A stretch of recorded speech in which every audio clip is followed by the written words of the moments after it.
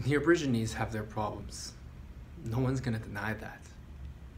Dogs in the foods, tigers in the trees. People in the Middle Ages have their problems too. But we have the neutron bomb. And that son of a bitch has an attitude. In its conception, it has this attitude of what is worthwhile and what is worth preserving. You know what sits at the top of its hierarchy? Things. Drop one in the vicinity of us, you're out. Done. Out. We're all out. But the glass doesn't crack. The phone still rings. It annihilates people,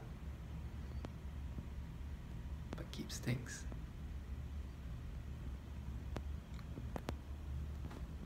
The ancients used to have a divine outlook on what is out there among the stars.